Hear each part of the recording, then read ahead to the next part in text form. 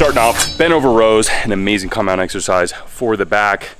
Uh, in this stage, we're stepping things up. We're increasing the volume, so more sets, we're increasing it to four sets each exercise, and also increasing the repetitions as well. So we're doing 10 reps uh, per set. So the volume's going up, and that is introducing progressive overload. The body's not quite used to that kind of volume, so getting that kind of volume on the muscles, all of a sudden you're gonna see some of the benefits, some of the changes, some of the body adapting to that new volume. And we're also implementing in some isolation work. Um, we're gonna be hitting some arms today. So we're always trying to push the body in new ways, making sure it adapts and gets buffer and buffer, baby. It's only stage two, but damn, I'm already feeling good. Went from a major compound exercise, bent over rows for back, to bench press, of course, for the chest. There's nothing better than that back and chest. Combination pump. It's like a multiplier pump that's gonna get your upper body feeling like it's just about ready to explode. I had a big breakfast this morning, had a little bit of muesli, and uh, I'm putting all those calories into action right now. If you haven't paired up chest and back before, give it a shot. It's pretty unbelievable. Our horse trough is out of commission because my kids turned it into the set of Swamp Thing. Thankfully, we got this handy back up. the old camping shower. Oh, and it is to be hitting the triple digits this week. So we got the sunblock. I got to cool down, man. That feels a hell of a lot better. Plus, it gives you that nice sheen. Oh, it's all those, it's all those buff dude tricks, baby. Oh, yeah. Cross bench dips. This is really putting a lot of emphasis on the triceps, but technically it's a little bit more of a compound movement because you're not only using elbow flexion and extension, now you're using a little bit of the extension and flexion in the shoulder joint too, because as you bring yourself down, the shoulder extends, and as you press up, it slightly flexes forward there. So a little bit of the chest involved, a little bit of the shoulders. Also, a major part uh, is gonna be the triceps. Specifically, you really wanna engage them at the top position to really squeeze your triceps full extension, boom. Really get that good squeeze. One of my favorite tricep exercises, really. You really feel that activation, that burn, and uh, overall, it's just amazing. You know, there was something missing, and I couldn't put my bicep on what it was, but I just figured it out because no buff dude's gym, whether that be in the garage, outdoors, whatever, without the posing mirror, man. And now we got it. Yeah! Yeah! This is truly like old school that car workouts now if there was a Buff Dudes video game, the mirror would give you like plus 20 to uh, arrogance.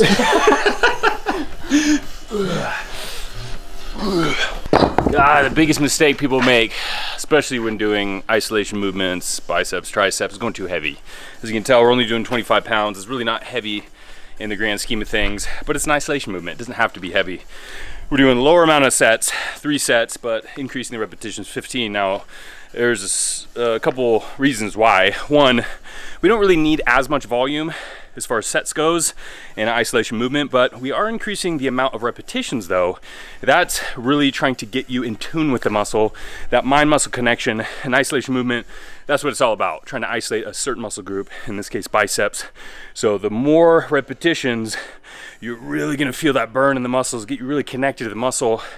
But in order to do that, go lighter with it. Most important thing, not about the weight in this in this particular exercise. So these are Zottman curls, which is gonna be doing pronated, supinated. Supination hitting both heads of the biceps, but then you pronate down, really gonna hit that nice forearm muscle too, the brachioradialis there.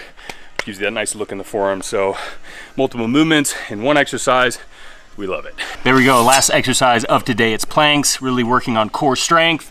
60 second holds for three sets, and we are done with the first day upper body. We'll see you next time for lower body. Yeah. We're busting out the Buff Dude size swamp cooler for this one. This is like a jet engine that's gonna be blowing on us. So a lot of cold water hitting us. Of course, we got the sunscreen. We're ready to go, man. Some people might ask, why, why do you take your shoes off? Why do you do barefooted? Why do you use something that has more of a flat foot. Uh, it's just about stability. Sometimes shoes can be pretty cushioned and that's gonna be good for running. Uh, but for squatting, you really wanna get really good contact with the floor. It's gonna make you feel a lot more stable and it's just gonna make your lift overall a bit better.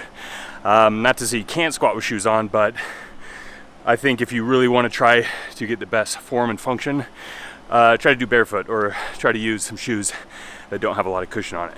A lot of stretch in this exercise is kind of the main goal here. Reaching an extreme stretch and then contracting the muscles to shorten them, bring yourself up to the top position. So definitely a lot of hip hinge in this. All about the hips, pushing them back uh, as you stretch the weight down and then extending them as you bring the weight up. A little bend in the knee. Um, some people can have less bend if they're more flexible, but the goal is to feel that stretch in the hamstrings. Very much helping to isolate the hamstrings, but because of the hip extension, the glutes are involved too. So an excellent posterior exercise.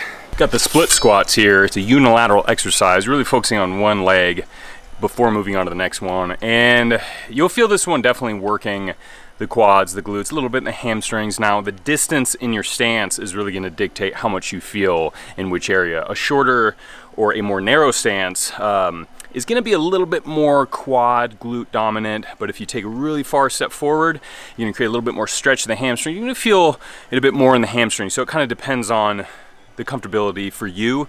Uh, but an amazing exercise because we love unilateral exercises. There's always going to be a dominant side in your body.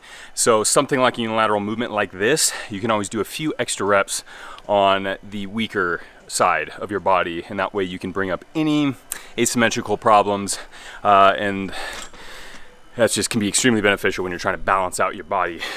This is an excellent exercise which really simulates uh, a hamstring curl machine at a gym, which of course those are pretty big, pretty bulky. Not a lot of people can afford or maybe fit that in their garage or home. So we can just use a dumbbell. You're gonna lay prone on the ground and it's gonna take a little bit of finesse to get it into the proper position. So of course you wanna start light if you've never done this before. And a great thing is, is we've covered almost all of these exercises as their own individual tutorials on this very channel. So if you wanna check some of those out, feel free. I'm including the links to some of the exercises from this plan in the description because we try to break them down the best we can in each of these stages. But if you want a real in-depth look at each one, feel free to check out those tutorials. this workout is kicking our ass for sure, but we're not done yet. We're moving on to our next exercise. That is going to be the seated calf raises. Of course, can't forget the calves, a little bit like the hamstrings. You don't really see them a lot. So, um, but that doesn't mean you can't forget them because you don't want to have those tiny little calves. I know it's something we struggle with, being a little taller. You always want to make sure that it's a part of your routine so they're not neglected. And where there's a will, there's a way because again, we don't have a calf raise machine, but it doesn't matter because we got dumbbells. And with your dumbbells, all you got to do is go ahead and sit on a bench or a chair. As you can see, I'm using our 10 pound weights, give myself a little bit better range of motion uh, with each repetition.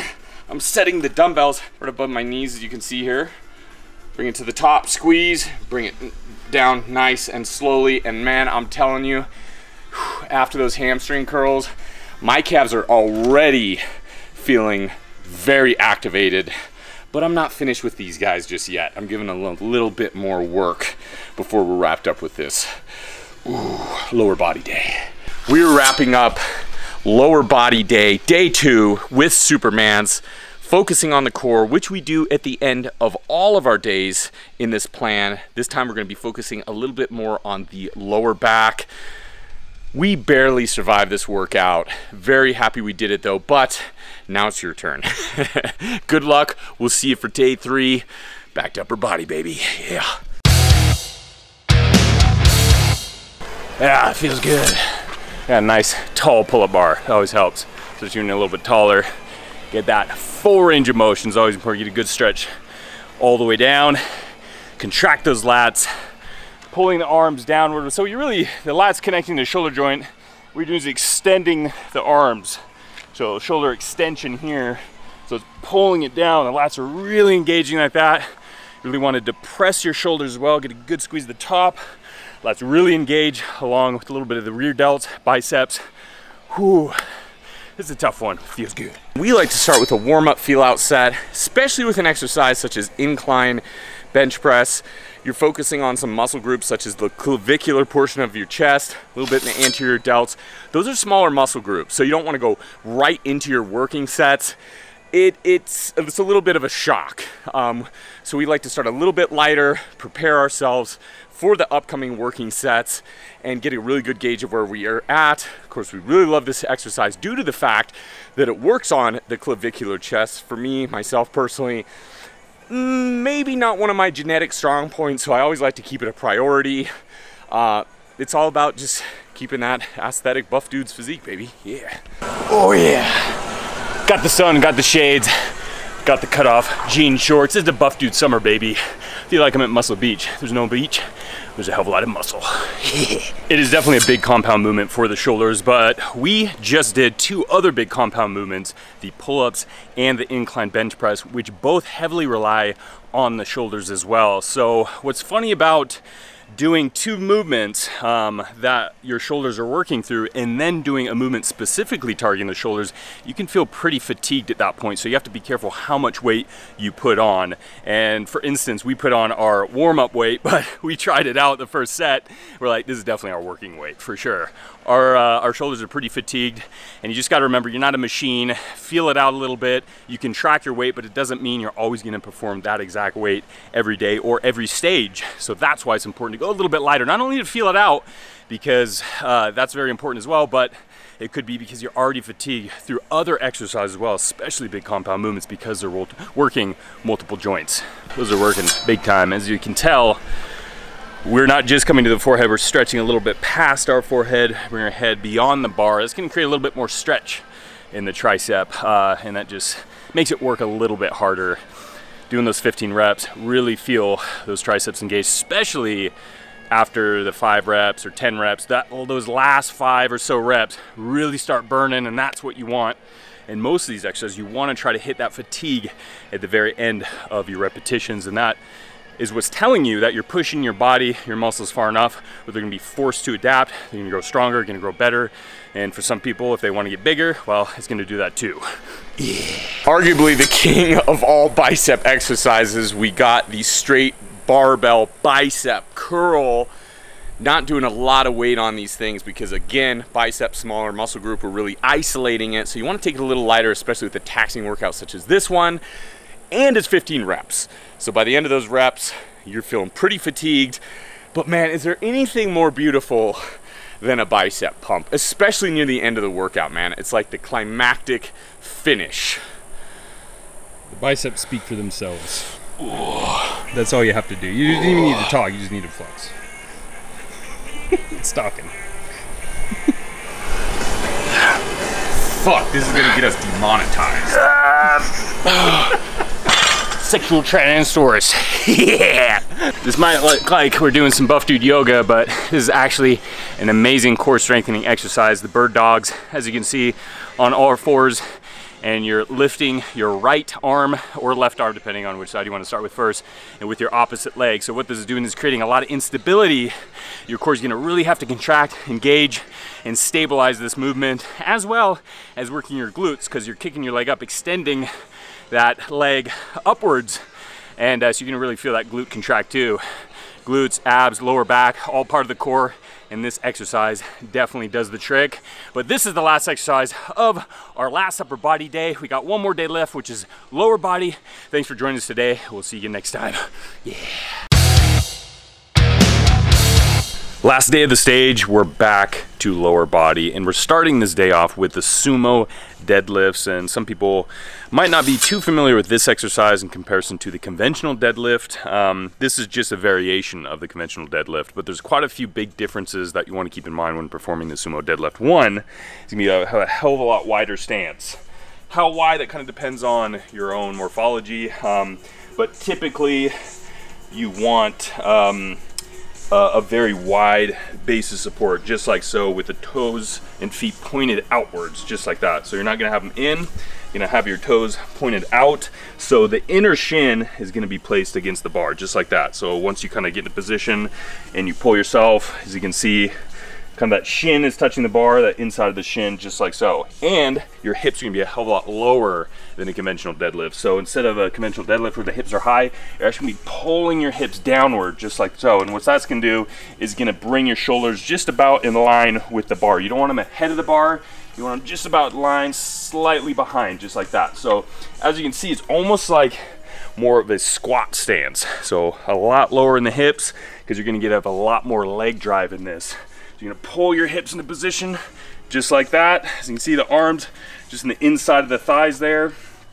And once you're in this position, pull down, you're going to push and then extend the top position.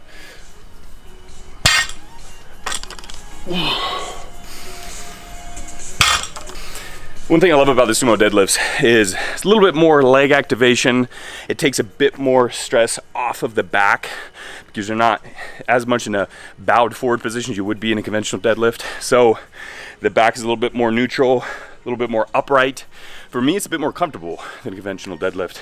When you're a little bit taller, it can be harder to, you know, be in this position. And as you're pulling that weight up, the lower back is definitely activated a bit more with the sumo since you're a bit more upright, a lot more leg drive, a little bit more comfortable for some people. So awesome exercise and definitely one that the legs are working big time.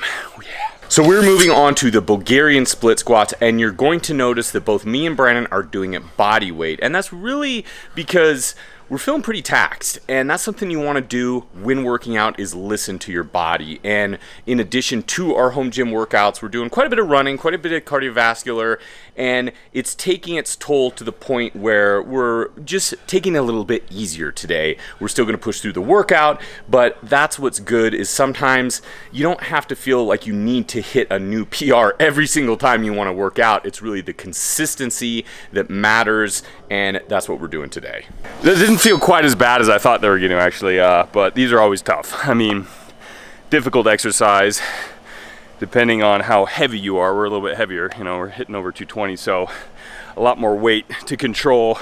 Got the eccentric, the lengthening of it. Really feel that his muscles kind of like trying to hold it. You can almost feel them just like tearing apart in a way. Sounds kind of horrible, but it's really kind of what's happening.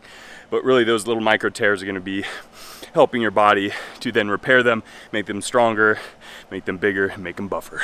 Yeah. It's like as if Nordic ham curls wasn't bad enough. Quads just needed something to be destroyed as well, and uh, these kneeling sissy squats will definitely be the ones to do it. Don't let the name fool you. The only person that's going to be a sissy after this is over is uh, possibly you. They're pretty tough.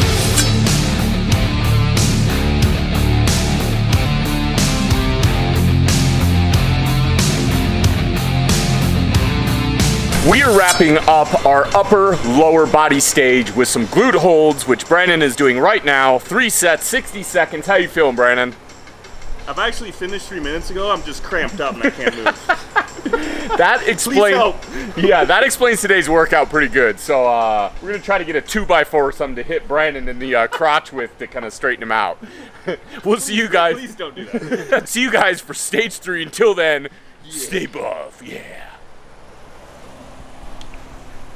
Help.